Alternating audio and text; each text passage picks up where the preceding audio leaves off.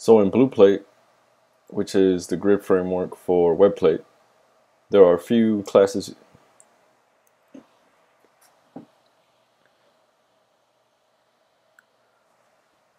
So in BluePlate, we have a few classes that we can use for offsetting elements on a page. I'm going to show you a few examples right now. First one I'm going to show is the standard offset. And I'm going to set something up.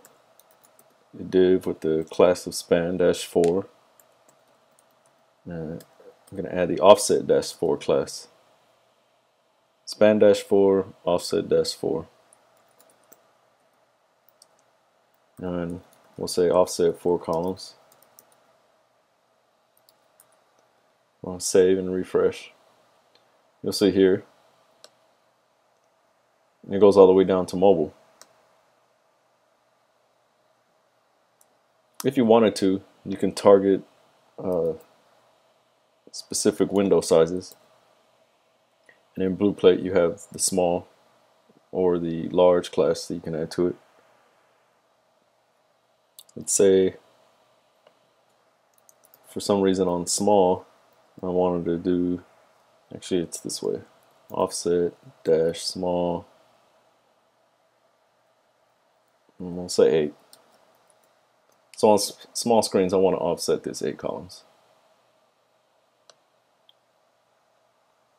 There you go. You see as I bring the window in, our div here has jumped over 8 columns.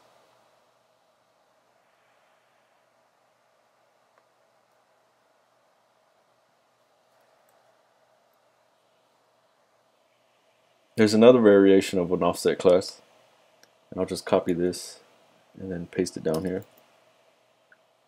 And rather than offsetting uh, this div you can offset an element immediately following this div. So I'm going to use an image and it'll just be a uh, placeholder. Placehold.it forward slash um, we'll make it 400 by 80.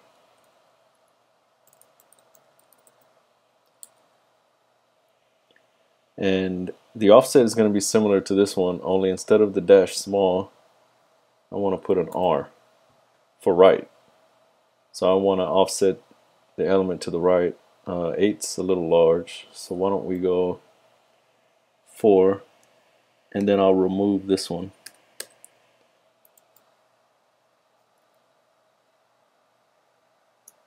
Let me refresh.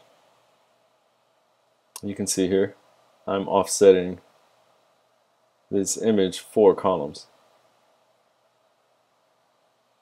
If we take a look at the code, using our inspector tools, I can show you what's actually going on here.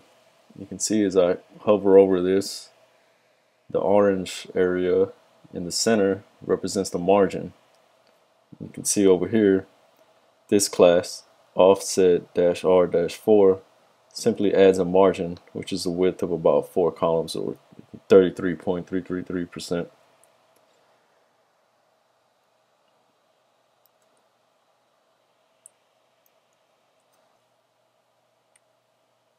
Just like the last example I showed, you can also target uh, different screens. Let's say for whatever reason I only want it to offset on mobile phones or small screens. I can do just like that. And I can do this for large as well, for targeting large screens. Uh, for this example, I'll just use small. Me save this. And the offset has gone away. And when I bring the window in, close this out, it breaks to the next line and I think that's because this image is really large. So if I were to make this an 80 by 80 or 40 by 80 whatever I should fix the problem. You can see now when I hover over here you'll see offset dash small right four columns. So it's about four columns so that's a pretty quick rundown of the offsetting classes in WebPlate or more specifically BluePlate, which is the plugin for the grid. We went over offsetting the basic way, offsetting for small screens, offset four columns, uh, eight columns on small, and offsetting elements four columns to the right. That's pretty much it. Really easy. It can be very useful in some use cases. Uh, thanks for watching.